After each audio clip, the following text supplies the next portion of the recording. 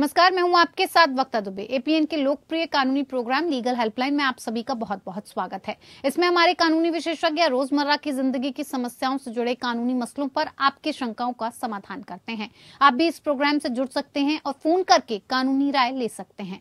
आज हम आपको महिलाओं से दुर्व्यवहार से जुड़ी कानूनी जानकारी देंगे। महिलाएँ हमेशा से यौन शोषण और हिंसा का शिकार रही है, चाहे घर हो या दफ्तर या फिर सार्वजनिक स्थल। हर जगह वो निशाने पर रहती हैं। आजकल कुछ खबरें भी आ रही हैं, जहाँ पर प्लेन या ट्रेन में भी महिलाओं से दुर्व्यवहार किया गया है। छेड़छाड़ का तो वो शिकार होती ही हैं। इस संबंध में कानून भी है जो उनकी सुरक्षा करते हैं। ज़रूरत है जागरूकता की। आज हम आपको महिलाओं से दुर्व्यवहार से जुड़ी कानूनी जानकारी देंगे। जानकारी के लिए हमारे कानूनी विशेषज्ञ, अधिवक्ता ऋषिपाल सिंह जी हमारे साथ जुड़े हुए हैं। ऋषिपाल जी, आपका बहुत बहुत स्वागत है।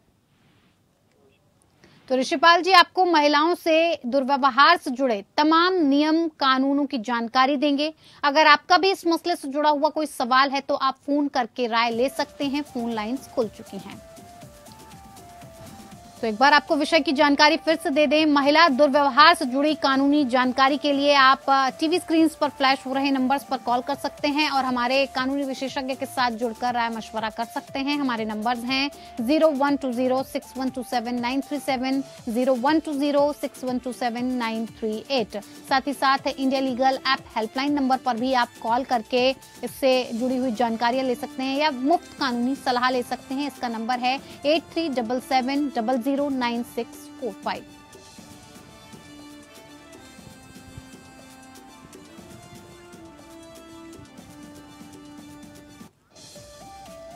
तो चलिए कार्यक्रम की शुरुआत करते हैं। और ऋषिपाल जी, सबसे पहले हम आपसे यही जानना चाहेंगे कि ट्रेन या प्लेन में अगर महिला से दुर्व्यवहार हो तो पीड़िता कैसे शिकायत करे?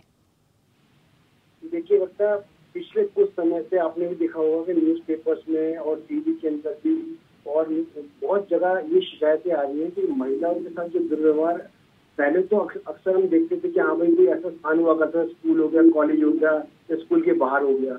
जैसे लगातार लगातार हम प्रगति कर रहे हैं लोगों ट्रेन चलती ट्रेन में चलते जो एरोप्लेन है लगातार उसके अंदर ऐसे हादसे हो रहे हैं महिलाओं के साथ जो उनका दुर्व्यवहार होता है बहुत बार मतलब महिलाएँ बता बता भी नहीं पाती ऐसी स्थिति में सबसे इम्पोर्टेंट जैसे टेक्नोलॉजी का इस्तेमाल हो रहा है आप देखिए टेक्नोलॉजी के हिसाब से भी अगर ट्रेन के अंदर किसी महिला के साथ कोई दुर्व्यवहार होता है कोई परेशानी होती है तो एक तो ट्रेन में आप हमेशा ध्यान रखें महिला को आर एफ़ जो रिज़र्व पुलिस फोर्स होती है वो हमेशा मूविंग रिज़र्व पुलिस फोर्स होती है। अगर उसकी जानकारी दी जाती है तो वो वहाँ पर आपको तुरंत सहायता प्रदान करती है। सबसे इम्पोर्टेंट तो वन एटी टू यानी एक सौ बयासी के ऊपर जो है हेल्पलाइन पर फ़ोन कर सकते हैं।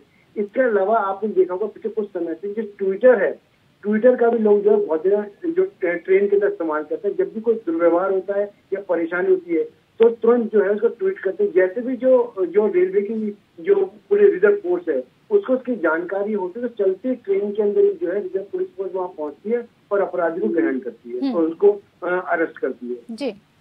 इसके अलावा जब हम देखेंगे तो स्पेशल जो मैसेजेस भी होते हैं वो भी ट्रेन के मैसेज होते आप मैसेज कर सकते हैं दुर्व्यवहार का तो थोड़ी देर में जब तक रिज़र्व फोर्स आप पर पहुँच सकती है तो आप वहाँ पर उसको गिरफ़्तार कर सकते हैं। इसके अलावा बहुत इंपॉर्टेंट है कि जैसे ही नियरेस्ट जो कि आपका जो स्टेशन आता है, आप उस स्टेशन के अंदर जाकर वहाँ की जो रिज़र्व पुलिस होती है और जहाँ का स्टेशन मास्टर होता है, इसके अलावा एक और चौकी होती है, आप वहाँ पे कंप्लेन कर सकते हैं। क्योंकि सबसे इम्पोर्टेंट ये होता है कि जो चलती ट्रेन होती है, चलती ट्रेन में अगर कोई अपराध कारित होता है तो उसका जुडिशन कैसे होगा? कौन उसको तय करेगा कि कहाँ पर केस लड़ा जाएगा कहाँ पर होगा। इसलिए ज़रूरी है कि रिज़र्व पुलिस फोर्स जो होती है उसकी सहायता ली जाए और रिज़र्व पुलिस फोर्स का जो जुडिक्शन होता है वो पूरी यात्रा तक होता है। जी। तो ऐसी स्थिति में वो जो रिज़र्व पुलिस फोर्स पूरे पावर होती है वो अरेस्ट भी कर सकते हैं उस, उस अपराधी को और अपराधी को अरेस्ट करने के बाद जो है उसके खिलाफ कार्रवाई कर सकते हैं। तो ज़रूरी है कि आप टेक्नोलॉजी जो है उस टेक्नोलॉजी का फ़ायदा उठाए। इसके अलावा बहुत इंपॉर्टेंट है महिला या बच्चे कई बार भी उनको लगता है कोई व्यक्ति उनका दुर्व्यवहार कर रहा है तो ऐसी स्थिति में अपनी जो वाइफ है यानी कि अपनी जो जो कंप्लेंट है वो ज़रूर रेज कीजिए अपने जो फेलो पैसेंजर्स हैं उनको ज़रूर बताइए इस बारे में कि भाई आपके साथ दुर्व्यवहार किया जा रहा है। तो ऐसी स्थिति में क्या होता है कि जो अपराधी है अपराधी को आगे अपराध करने में रोका जाता है और इसके अलावा जो कानूनी सहायता होती है वो तुरंत प्रदान की जाती है। जी जी बिल्कुल। ऋषिपाल जी ऐसी खबरें अक्सर आती रहती हैं कि होटल या लॉज में गुप्त कैमरों से कई लोगों की तस्वीरें ली गई हैं। साथ ही साथ महिलाओं के साथ ऐसा कई बार सुनने में आता है। इसके लिए दोषियों को किस धारा के तहत क्या सजा हो सकती है या क्या जुर्माना लगाया जा सकता है देखिए ये जो गुप्त कैमरे की बात की गई ये केवल होटल या लॉन्च में नहीं इसके अलावा भी आपने सुना होगा कई बार जो ट्रायल रूम्स होते हैं ट्रायल रूम्स में भी होता है कॉमन हम्म। बाथरूम के अंदर भी लोग जो है हम्म। ये जो गुप्त कैमरे इनका इस्तेमाल करते हैं तो जब से टेक्नोलॉजी का इस्तेमाल होना चालू हुआ तब हम्म। से इस तरह से एक तो गुप्त कैमरे बनाना एक तो गुप्त जो फोटोग्राफी या वीडियोग्राफी करना। इसके अलावा उस वीडियोस को या फ़ोटो को वायरल करना। यानी अपने आप में वो आईटी से रिलेटेड जो है ऑफेंसेस हो जाते हैं कि जब उस आईटी से रिलेटेड कोई व्यक्ति जो है किसी भी ऐसे व्यक्ति की जो फ़ोटो या वीडियो बनाता है उसकी बिगड़ इजाज़त से बनाता है और उसको करने के बाद वो उसको वायरल करता है। तो अपने आप में नॉन बेलेबल अफेंस है और अपराधी को जो सजा है वो सात साल तक की इसमें सजा हो सकती है। इसके अलावा जो जुर्माना भी हो सकता है। तो बड़ा इंपॉर्टेंट मैं आपको पहले भी बता था जैसे आप डिस्कशन कर रहे थे कि रेलवे के अलावा हम्म। जो एरोप्लेन है एरोप्लेन के अंदर भी लगातार अब जो कुछ समय समस्या सुनने में आई है जिसे आपने एक एक फेलो पैसेंजर ने किसी महिला के आसपास से यूरिन कर दिया। तो ये सब चीज़ें जो है अपने आप में बहुत इंपॉर्टेंट है कि महिलाओं को बहुत ज़रूरी है कि हम्म। जब भी कोई परेशानी होती है तो वो अपनी जो प्रॉब्लम्स है उनको फैलो जो साथ के लोगों को ज़रूर शेयर करें। हम्म। तो जिससे कोई ना कोई उसको जो पब्लिक डोमेन में लेके आएगा उसके बाद कार्रवाई होगी। जो। आपने आप सवाल किया था जो आईटी से रिलेटेड है आईटी से रिलेटेड सेक्टर्स के अंदर जब मान लीजिए कुछ अपराधी के बारे में पता लगता है तो ये भी हो सकता है कि उस अपराध से और भी ज़्यादा लोग जुड़े हों। हम्म। या उस उस उस वीडियो को या फोटोग्राफ को आगे वायरल करने वाले और भी ज़्यादा लोग हों। तो ऐसी स्थिति में साइबर क्राइम से रिलेटेड भी जो आप जब आप केवल अपना एफ़ दर्ज कराएँगे दर्ज करने के बाद साइबर क्राइम या और बाकी जो सेक्सुअल ऑफेंस से रिलेटेड जो ऑफेंसेज है वो या अगर वो महिला मान लीजिए अट्ठारह साल से कम कम की है तो पॉक्सो उससे संबंधित जो भी अपराध हैं जो भी जो सेक्शन है वो लगातार लगातार एड हो, होते चले जाते हैं फिर पुलिस उस हिसाब से कार्रवाई करती है। तो बहुत ज़रूरी है कि आप अप्रोप्रिएट सेक्शन में मतलब अप्रोप्रिएट जो अपनी जो भी आपके साथ हुआ है वो तुरंत पुलिस को जानकारी दे। जी बिल्कुल। ऋषिपाल जी क्या साइबर क्राइम के थ्रू जिस हिसाब से महिलाओं के साथ छेड़छाड़ की जाती है उन्हें निशाना बनाया जाता है जो गलत तस्वीरें लेके उसका जो प्रमोशन किया जाता है सोशल मीडिया पर डाल दिया जाता है पोस्ट करके। तो क्या इस तरीके के अपराध भी इसी तरह की श्रेणी में आते हैं? बिल्कुल बिल्कुल। वक्ता ये जो साइबर क्राइम्स है जैसे जैसे हमारी टेक्नोलॉजी बढ़ती जा रही है हम्म। जैसे जैसे हम टेक्नोलॉजी का इस्तेमाल करते जा रहे हैं वैसे वैसे जो हम हमारा मोड ऑफ़ कम्युनिकेशन भी चेंज होता जा रहा है। हम्म, हम्म। बहुत सारे पहले लोग केवल लेटर भेजा करते थे यानी पत्र भेजा करते थे उसके अंदर हैंड राइटिंग की बात होती थी। लेकिन धीरे धीरे ऑडियो आया टेलीफोन आया टेलीफोन के बाद अब लगातार वीडियो चालू हो गए यानी लोग वीडियो कॉल पे बात करते हैं हाँ। वीडियो कॉल पे कम्युनिकेट करते हैं तो ये सारी चीज़ें जो अपने में अपराध विकासित करती है अगर मान लीजिए कोई व्यक्ति एक दो व्यक्ति है और वो मान लीजिए व्यस्त है और वो कि, किसी चीज़ को शेयर कर दे तो वो अपराध नहीं है हम्म। लेकिन को तो तीसरा व्यक्ति अगर मान लीजिए उनकी बिगर इजाज़त के उन किसी महिला के जो फोटोग्राफ है या वीडियोज़ है उनको वो वायरल करता है तो अपने अपने अपराध है इसके हम्म। अलावा टेक्नोलॉजी का जो साइबर क्राइम है साइबर क्राइम से रिलेटेड ऐसे अपराध सामने आते हैं जिसके अंदर जो घर में मौजूद जो डेस्कटॉप होता है घर में मौजूद जो लैपटॉप होता है अगर वो खुला हुआ होता है हम्म। तो उसकी जो जो उसे कैमरा है उस कैमरे को भी मैनिपुलेट किया जा सकता है उस कैमरे को भी इस्तेमाल किया जा सकता है अपराध को खारिज करने में उसको मालवेयर इस्तेमाल कर सकते हैं तो ये हम्म। ये इम्पोर्टेंट ये बातें ये बड़ी इंपॉर्टेंट है कि आप जब भी साइबर क्राइम से रिलेटेड अपराध होता है और सबसे इम्पोर्टेंट है कि साइबर क्राइम से रिलेटेड जो भी अपराध होते हैं वो हर डिस्ट्रिक्ट के अंदर हम्म। एक स्पेशल साइबर क्राइम का एक पुलिस स्टेशन होता है जो इनसे संबंधित अपराधों को उसकी इन्वेस्टिगेशन करता है। तो आप अब कंसर्न थाने के अंदर भी कंप्लेन कर सकते हैं। और इसके अलावा जो साइबर क्राइम का जो स्पेशल जो थाना है उसमें भी कंप्लेन कर सकते हैं। तो वहाँ एक्सपर्ट लोग बहुत जल्दी जो है ऐसे अपराधी को पता लगाते हैं और उनके खिलाफ कार्रवाई की जाती है। जी बिल्कुल। ऋषिपाल जी अनिच्छा ज़ाहिर करने के बाद यानी कि महिला या कोई भी लड़की हो अगर वो नहीं चाहती है उसके बाद भी कोई पुरुष या फिर कोई इंसान या कोई लड़का उसका किसी इलेक्ट्रॉनिक डिवाइस का प्रयोग करके उसकी निगरानी करता है उसका पीछा करता है तो क्या इस पर कोई कार्रवाई हो सकती है? क्या इसे अपराध माना जाएगा? बिल्कुल माना जाएगा वक्ता बल्कि और हमारे कानून के अंदर जो सेक्सुअल ऑफेंस से रिलेटेड जो अपराध हैं हम्म। इनके अंदर जो हमारा इंडियन एविडेंस एक्ट है हम्म। वो बहुत हद तक ये कहता है कि अगर कोई महिला ये कहती है कि उसकी सहमति किसी भी अपराध को या जो सेक्सुअल ऑफेंस से रिलेटेड कोई अपराध हो रहा है उसकी सहमति नहीं जी तो कानून ये कहता है कि माना जाएगा यानी प्रेजेंशन जो होती है वो एक्यूज के अगेंस्ट होती है हम्म। माना जाता है कि अगर आप महिला ने कहा कि मेरी सहमति नहीं थी तो माना जाएगा उसकी सहमति नहीं थी अगर उसकी सहमति नहीं थी वो कहती है उसके बावजूद भी मान लीजिए वो फोटोग्राफ वो वीडियोज़ अगर कोई व्यक्ति वायरल करता है या अपने पर अपने आप स्टोर करता है या हाँ। इवन पोर्नोग्राफी वो बनाता है और इवन सी फिफ्टी फोर में अगर हम देखेंगे तो जो बच्चों को केवल पोर्नोग्राफी दिखाना भी जो है हम्म। अपने आप में अपराध की कैटेगरी में आता है हम्म, तो इसमें इम्पोर्टेंट है कि सहमति तो आपने बिल्कुल बहुत सही शब्द इस्तेमाल किया क्योंकि जो लॉ है लॉ बिल्कुल ये कहता है कि प्रेजेंशन एक्यूज के अगेंस्ट में होती है। तो ऐसी स्थिति में मुलजिम को साबित करना पड़ता है कि उसने अपराध नहीं किया हम्म। या वो सहमति थी। तो ये अपने आप में एक महिला जो जो सेक्सुअल ऑफेंस है हम्म। उनको बहुत कड़ा बनाने की दिशा में एक कारगर कदम है। ऋषिपाल जी हम कई बार देखते हैं छेड़छाड़ की खबरें हों या ईव टीजिंग की घटनाएँ आपने भी कई बार सुनी होंगी और ऐसी घटनाएँ अक्सर सामने आती रहती हैं। ऐसे में जो घटनाएँ होती हैं उन पीड़िताओं को क्या करना चाहिए? दोषियों पर कैसे कार्रवाई संभव हो सकती है? आपने जो शब्द इस्तेमाल किया ईव टीजिंग या छेड़छाड़ जो शब्द इस्तेमाल किया ये अपने आप में बहुत ही व्यापक शब्द है। हम्म। कि ईव टीजिंग में छेड़छाड़ किस तरीके से होती है? मान लीजिए कोई व्यक्ति किसी को ईव टीजिंग करने या छेड़छाड़ करने के लिए वो अश्लील शब्द बोल सकता है। जी। वो टच कर सकता है। हम्म। या मान लीजिए वो इवन वो अपने अपने प्राइवेट बॉडी पार्ट्स को किसी महिला को दिखा सकता है। हम्म। तो ईव टीजिंग अपने आप में एक बहुत ही बड़ा कॉन्सेप्ट है। जी। तो जब भी ईव टीजिंग की बात होती है या मान लीजिए कोई किसी का पीछा कर रहा है तो ये भी कहीं ना कहीं ईव टीजिंग का पार्ट होता है। थ्री। फिफ्टी फोर जो पहले हमारी धारा थी आईपीसी में प्रोविज़न में बहुत बदलाव किया गया। उसमें बहुत सारी ऐसी जो प्रोविज़न है उनको जोड़े गए।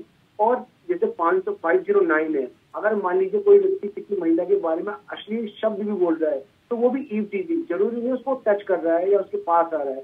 तो बहुत सारी ऐसी जो घटनाएँ हैं जिनको बहुत सारी ऐसी मतलब अपराध है जिनको ईव टीजिंग की जनरल ईव टीजिंग कैटेगरी में मान सकते हैं हम्म। लेकिन इसको स्पेसिफाइड करेंगे तो वो सेक्सुअल ऑफेंस में अलग अलग तरीके से प्रभाषित होंगे। हम्म। अब इम्पोर्टेंट है कि अगर लीजिए किसी महिला को सबसे पहले अगर जब भी कोई व्यक्ति ईव टीजिंग करता है या कोई और कोई कोई भी कोई ग्रुप ईव टीजिंग कर रहा है तो सबसे पहले वो अपनी पुलिस हेल्पलाइन है। सबसे पहले पुलिस हेल्पलाइन पे फ़ोन करे और महिला हेल्पलाइन पे फ़ोन करे तो जिससे कि महिला हेल्पलाइन में संभव होता है कि उस स्थिति में जब पुलिस अधिकारी आते हैं तो उनके साथ कम से कम महिला भी होती है। हम्म। जिससे कि वो महिला प्रॉपरली बता सके कि ईव टीजिंग जो हुई है किस प्रकार से हुई है।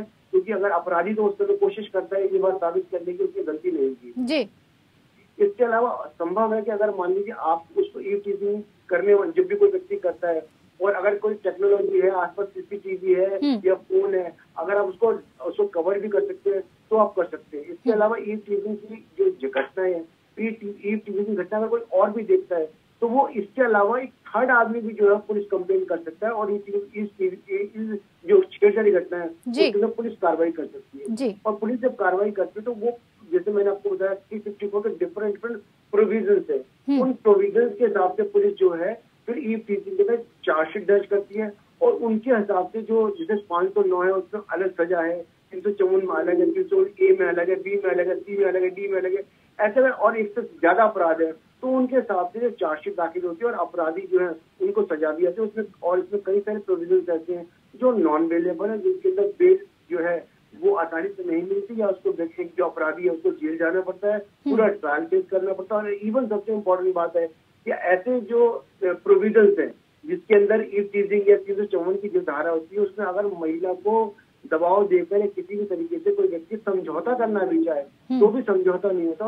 और उसको अगर स्पेशल कोर्ट समझे special provision four eighty two CrPC में अगर वो हाई कोर्ट जाता है और कोर्ट को लगता है कि हाँ भाई ये गलती इसने इससे एक अनजाने में गलती हो गई है जानबूझ के नहीं हुई है तब संभव है कोर्ट उसको माफ़ कर दे। वरना अगर वो महिला अपनी जो अपर, अपना जो केस है उसको प्रॉपर तरीके से डिफाइन करती है गवाही देती है तो ऐसी स्थिति में अपराधी जो है उसकी सजा पक्की है। जी बिल्कुल ऋषिपाल जी बहुत बेहतर तरीके से आपने इसको समझाया जिससे जो महिलाएँ हैं जो लड़कियाँ हैं इसको देखेंगी तो बेहतर तरीके से समझ पाएँगी कि उनकी सेफ्टी के लिए वो क्या कुछ कर सकती हैं। ऋषिपाल जी दफ्तर में छेड़छाड़ या ऑन यौन उत्पीड़न की जो घटनाएँ होती हैं उनसे कैसे निपटे महिलाएँ? देखिए विशाखा सॉरी वक्ता आपने सुना होगा एक विशाखा गाइडलाइन सुप्रीम कोर्ट ने जारी करी थी। जी। कि ये बहुत इंपॉर्टेंट बात है कि जो दफ्तर के अंदर जब छेड़छाड़ की घटना होती है उनसे कैसे निपटा जाए? हम्म। क्योंकि दफ्तर में अक्सर जब छेड़छाड़ की घटना होती है तो छेड़छाड़ करने वाले बहुत बार ऐसा होता है जो व्यक्ति होते हैं वो डोमिनेटिंग पोजिशन में होती है। यानी महिला जो होती है वो वहाँ पर जॉब करती है उनकी मजबूरी होती है तो जॉब भी करना है और उस व्यक्ति के खिलाफ कार्रवाई भी करनी है। तो ऐसी सुप्रीम कोर्ट की गाइडलाइन जो मैंने आपको बताया, उसके अंदर कि जो जो जहाँ पर भी जो भी कोई मतलब ऑफ़िस होता है, दफ्तर होता है या सरकारी दफ्तर होता है, उसके अंदर क्या होता है कि एक कमेटी बनाई जाती सेक्सुअल असॉल्ट से रिलेटेड एक कमेटी बनाई जाती है। उस कमेटी के अंदर एक महिला सदस्य होना ज़रूरी है। और वो कमेटी जो है अगर मान लीजिए उसके अंदर जो भी कोई व्यक्ति टीम टीचिंग कर रहा है तो हम्म। आप उसके अंदर उसको कंप्लेन कर सकते हैं और वो कमेटी अपनी गाइडलाइन अपनी जो जो अपनी फाइंडिंग है वो फाइंडिंग दे सकती है और उस फाइंडिंग के आधार पर जो एफ़ आई आर दर्ज हो सकती है और अपराधी को सजा हो सकती है। जी बिल्कुल ऋषिपाल जी। दफ्तर में होने वाली जो घटनाएँ उनको हमेशा बहुत गंभीरता से लेना हम्म। चाहिए। इसके लिए मैंने पहले ही बताया कि बहुत बार ऐसा होता है कि महिलाएँ अपनी मजबूरी की वजह से जो सेक्सुअल असॉल्ट से रिलेटेड जो घटनाएँ हैं उनको बता नहीं पाती हैं। तो एक एक एक और ये ये मैंडेटरी है ये मैंडेटरी हम्म। है जो भी ऑफिसर्स होते हैं उसके अंदर एक सेक्टर अथॉरिटी कमेटी है उसको उस मैनेजमेंट को बनाना होता है। अगर वो नहीं बनाते तो उनके ऊपर भी जुर्माने की कार्रवाई की जाती है। जी ऋषिपाल जी आपने अभी कहा कि महिलाओं की कई तरह की मजबूरियाँ होती हैं जिसकी वजह से कई बार ऐसा होता है कि वो खुलकर किसी बात को नहीं कह पाती हैं। लेकिन जब महिलाओं के घरों में ही इस तरीके की जो घटनाएँ देखने को मिलती हैं उनके परिवार के वाले ही सदस्य उनके साथ जब इस तरह की घटनाएँ होती हैं डोमेस्टिक वायलेंस के तहत उनको राहत कैसे मिल सकती है? देखिए डॉक्टर डोमेस्टिक वायलेंस और सेक्सुअल असॉल्ट जो है हम्म। ये अपने आप में दो अलग बातें हैं। जो डोमेस्टिक वायलेंस जो शब्द आपने इस्तेमाल किया डोमेस्टिक वायलेंस एक्ट के द्वारा गवर्न होता है। डोमेस्टिक वायलेंस एक्ट अपने आप में एक सिविल लॉ है। हम्म। जिसका प्रोसीजर जो है वो क्रिमिनल है। यानी कोई महिला के प्रति मान लीजिए कोई कोई व्यक्ति है जो उसको देखभाल नहीं करता उसको खर्चा नहीं देता एब्यूजिंग करता है मारपीट के सेक्सुअल ऑफेंस के अलावा जो सारे काम करता है तो उसके अंदर जो डोमेस्टिक वायलेंस से रिलेटेड जो लॉज है वो लॉज आते हैं और जो कंसर्न मैजिस्ट्रेट होता है कंसर्न मैजिस्ट्रेट के पास हम डोमेस्टिक वायलेंस की कंप्लेन कर सकते हैं हम्म। सबसे इम्पोर्टेंट इसमें ये है कि जो महिला जब डोमेस्टिक वायलेंस की कंप्लेन करती है तो जिसके खिलाफ वो कंप्लेन करती है एक सबसे पहला काम तो ये होता है कि उसको ये प्रूव करना होता है कि उसके साथ वो डोमेस्टिक रिलेशनशिप में है हम्म। बहुत इंपॉर्टेंट है कि ज़रूरी नहीं है कि वो महिला उसकी पत्नी ही हो हम्म। अगर जो डोमेस्टिक वायलेंस के हिसाब से अगर कोई महिला उसके साथ रह रही है और पत्नी की तरह रह रही है चाहे उसने विधिवत रूप से शादी नहीं की हम्म। अगर वो रह रही है बहुत सालों से रह रही है पत्नी की तरह रह रही है तो उसके उतने ही अधिकार होते हैं अगर उसका डोमेस्टिक वायलेंस होती है उसको घर से बाहर निकाला जाता है उसको खर्चा नहीं दिया जाता उसके साथ मारपीट की जाती है तो उसको डोमेस्टिक वायलेंस का प्रोविज़न है उसके उसके साथ डोमेस्टिक वायलेंस की कंप्लेंट हो जाती है और अगर वो महिला मान लीजिए विवाहिता है हम्म। मतलब वो स्त्री वो जो शादीशुदा है और ये सब उससे परेशानी होती है तो इसके अलावा फोर नाइनटी ए के अंदर भी जो सिर्फ़ उसके जो कंप्लेंट है वो दर्ज हो सकती है उसके अंदर भी जो क्रुएलिटी है वो हम्म। मानसिक भी हो सकती है हम्म। ज़रूर इसको परेशान करने के लिए शारीरिक रूप से परेशान किया जाए हम्म।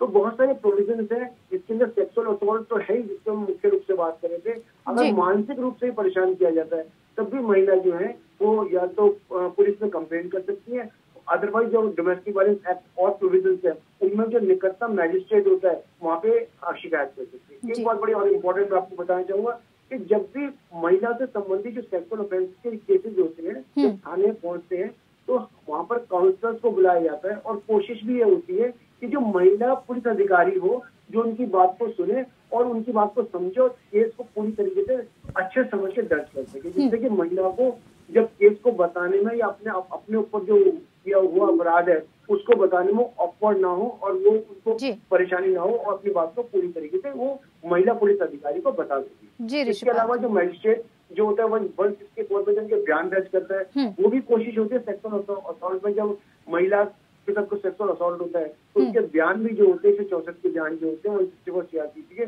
कोई महिला जज ही उनके रिकॉर्ड करे तो कोशिश कानून की यही है कि जब भी महिला के साथ कोई दुर्व्यवहार होता है सेक्सुअल असॉल्ट होता है तो पूरी तरीके से ध्यान रखा जाए। इवन जो डॉक्टर सेक्सुअल जो रेप केसेज है या और केसेज है, या सेक्सुअल असॉल्ट केसेज है, उनमें जो डॉक्टर का एग्जामिन करता है, वो भी महिला डॉक्टर ही होते हैं, जिससे की उनकी जो गरिमा का पूरा ध्यान रखा जाए और पूरी तरीके से वो अपने अपराध को, उस संबंधित अधिकारी को बता सके।